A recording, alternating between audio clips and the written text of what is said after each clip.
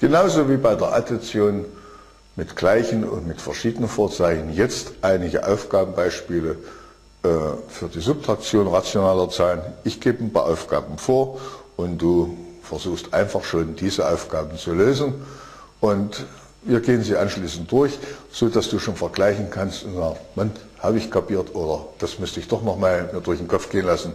Wir werden sehen.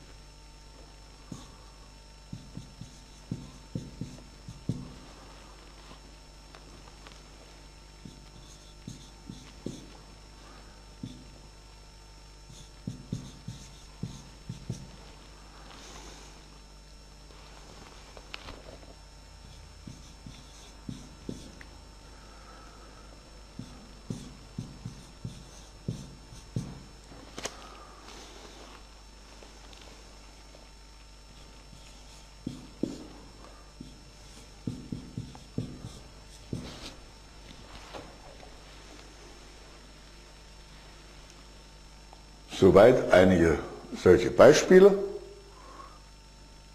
Wie ich dich kenne, bist du bei den ersten zwei vielleicht schon durch.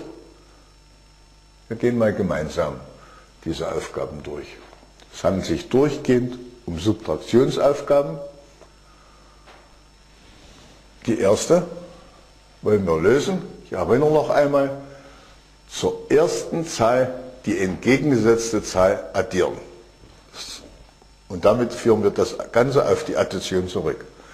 Die erste Zahl einfach hinschreiben und jetzt kommt eine Addition, jetzt kann ich immer schon dieses Pluszeichen schreiben und bilde die entgegengesetzte Zahl, das ist minus 12, fertig.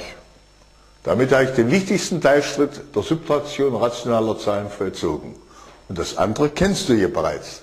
Das ist die Addition von rationalen Zahlen entweder mit gleichen Vorzeichen wie in diesem Fall oder eben mit verschiedenen.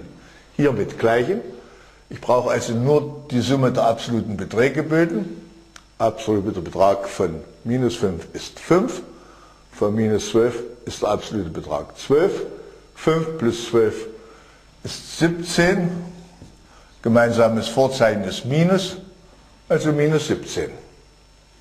Minus 5 minus in Klammern plus 12 ergibt also minus 17.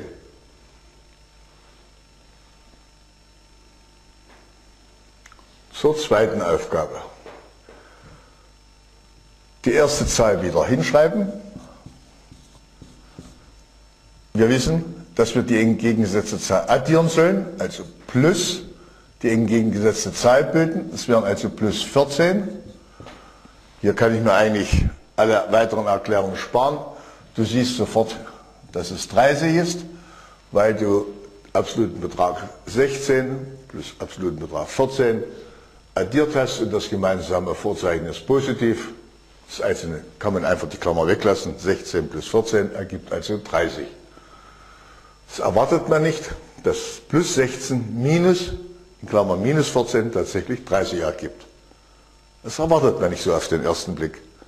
Aber freut mich, wenn du diese Regel verstanden hast und zum gleichen Ergebnis gekommen bist. So, und die nächsten vier Aufgaben, die machen wir dann alle beide jetzt gemeinsam. Äh, du könntest mir ja theoretisch das schon diktieren und ich denke mal, ähm, ich verstehe jetzt deine Zurufe und schreibe einfach.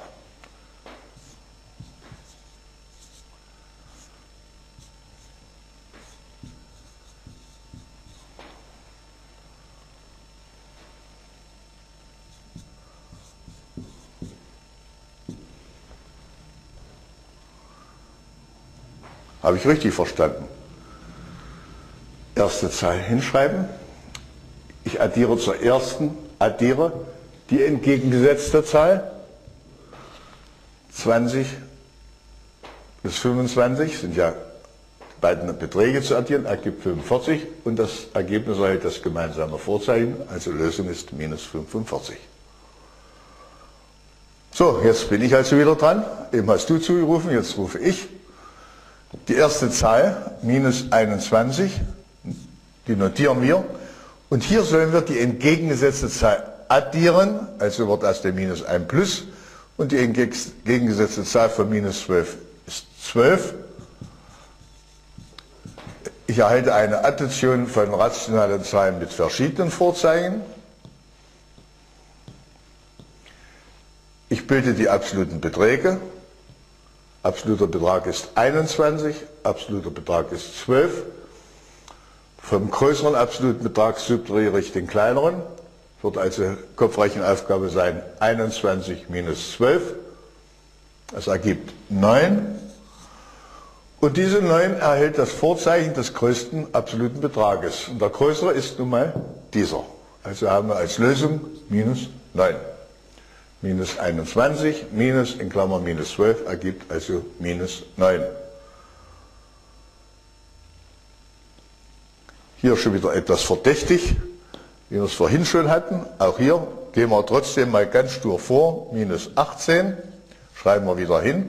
Wir addieren die entgegengesetzte Zahl. Die entgegengesetzte Zahl ist plus 18. Du hast recht, wie vorhin mit diesem Beispiel, minus 8 und plus 8. Ich bilde die absoluten Beträge. und subtrahiere vom größeren den kleineren. Ergebnis. Nein.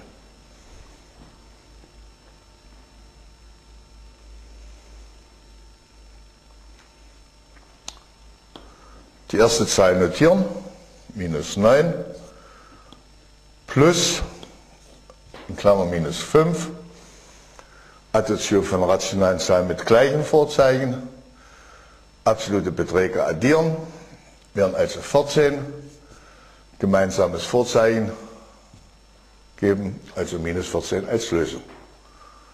Wenn du bis jetzt keine Probleme hast, hast du die Addition und Subtraktion von rationalen Zahlen sicher drauf. Alles andere, was jetzt schwierig werden könnte oder mal zu kleinen Fehlern führen könnte, wäre jetzt das Zahlenmaterial selbst.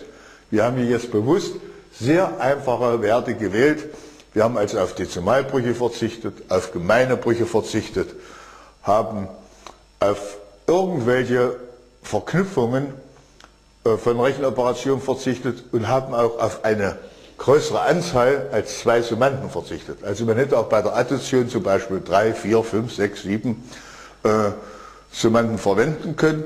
Und wir können natürlich jetzt auch die Addition und Subtraktion in Aufgaben miteinander verknüpfen, indem man zum Beispiel außer diesen runden Klammern noch eckige Klammern, geschweifte Klammern äh, verwenden, um dann so eine gewisse Rangfolge im Ablauf der Rechenoperation festzulegen. Aber das soll mal geschehen, wenn wir die vier Grundrechenarten hinter uns haben, wenn wir sagen, so als Krönung des Ganzen. Jetzt erst einmal simple, einfache Aufgaben, auf die Regel konzentrieren, gucken, was hatte ich denn bisher eigentlich nicht verstanden, war das so schwer? Nein, ich habe es endlich kapiert, ich kann es.